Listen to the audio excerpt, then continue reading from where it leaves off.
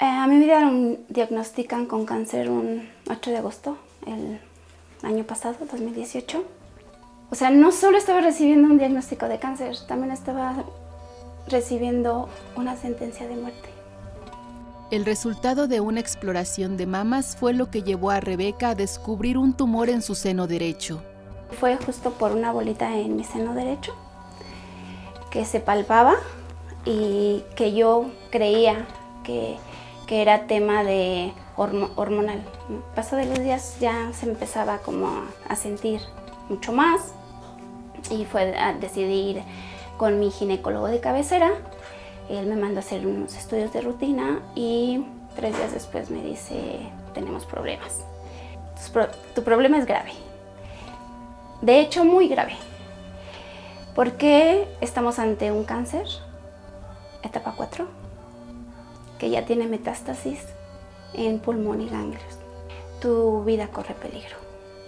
Antes de un mes yo ya estaba recibiendo atención médica en la raza.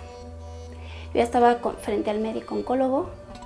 Mi cáncer ya había avanzado el 300%. O sea, ya estábamos ante una situación que el cáncer me estaba devorando. El cáncer fue una lección de vida, un aliado, una compañía durante un año al cual le agradece haber llegado a su vida. Y todo eso fue una enseñanza, mucho aprendizaje, eh, lecciones de vida que encontré en las salas de espera, en el trayecto de casa al hospital y, viceversa, en las muestras de amor, de cariño, de fe, de, de, tanta gente que estuvo a mi lado. Era una situación adversa, sin embargo, me estaba enseñando a vivir. Luego de cinco quimioterapias y 25 radioterapias que le quemaron el cuerpo, que le hicieron se le cayera el cabello y con muchos efectos secundarios, Rebeca retoma la nueva vida que le dio el cáncer. Sí, gracias cáncer, porque sin ti esto no hubiera sucedido. Fueron momentos maravillosos que yo viví con mi hermana, me cuidó muchísimo. Entonces para mí esos momentos fueron mágicos, fueron momentos que, que aportaron mucho a ese proceso. Y hoy, hoy te puedo decir que estoy, soy una mujer plena, soy una mujer muy feliz, porque, porque disfruto precisamente el aquí y el ahora. Eso fue lo que me dejó el cáncer, el, el disfrutar del hoy, de no hacer planes para mañana porque para mañana es incierto.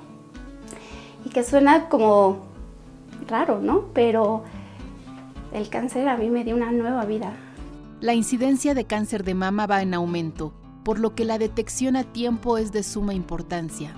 La verdad es que vamos mal, vamos muy mal. Ah, hace, no sé, unos 10 años había 10 mujeres mexicanas que morían cada día por cáncer. Ahorita vamos en 18 mujeres.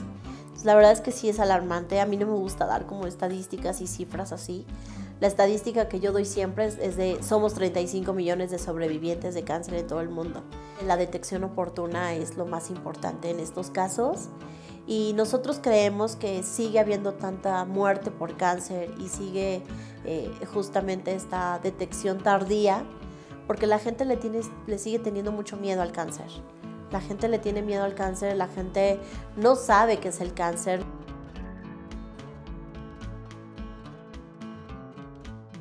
Miedo siempre va a haber.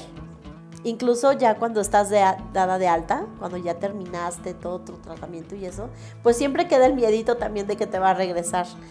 Pues hay que tenerlo aquí sentadito, controlado y pues caminar como juntos. No, no tanto como hay que eliminar el miedo o hay que eh, disminuirlo, no, tienes que hacerte su, su amiga de ese miedo y caminar juntos. Es más fácil que estar peleando eh, o incluso a negarlo. El 19 de octubre se conmemora el Día Mundial contra el Cáncer de Mama y en general todo octubre es considerado como el mes de sensibilización de cáncer de mama.